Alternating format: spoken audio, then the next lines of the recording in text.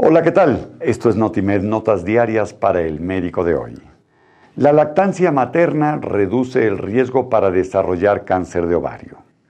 El cáncer de ovario tiene una tasa de supervivencia pobre a 5 años debido a que es detectado en etapas avanzadas. Por ello, la prevención representa una ventana de oportunidad muy valiosa. Sin embargo, pocos son los factores de riesgo modificables más allá del uso de anticonceptivos. Por otro lado, la evidencia sugiere que la lactancia materna reduce el riesgo para desarrollar esta neoplasia, aunque los datos son inconsistentes.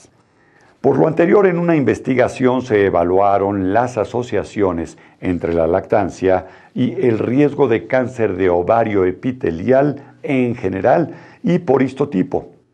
Se realizó un análisis conjunto que incluyó a 9.973 mujeres con antecedentes de lactancia materna y de diagnóstico de cáncer de ovario y 13.843 controles procedentes de 13 estudios del consorcio de la Asociación de Cáncer de Ovario.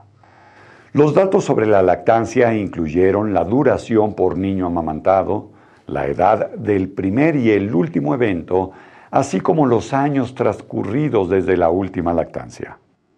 Como resultado principal se contempló el diagnóstico de cáncer de ovario epitelial. Los resultados mostraron que la lactancia materna se asoció con un riesgo 24% menor para cáncer de ovario invasivo.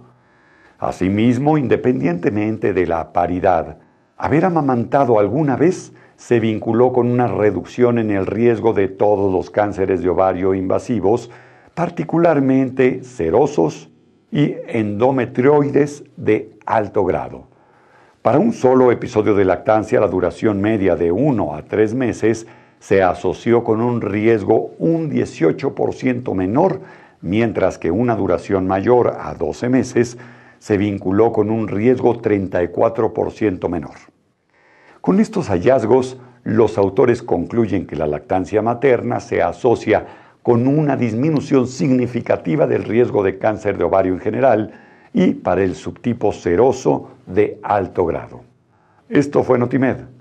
Consulte en Conectimed la sección de publicaciones, donde encontrará artículos médicos científicos actualizados que le serán de utilidad para su educación médica continua. Nos vemos la próxima emisión.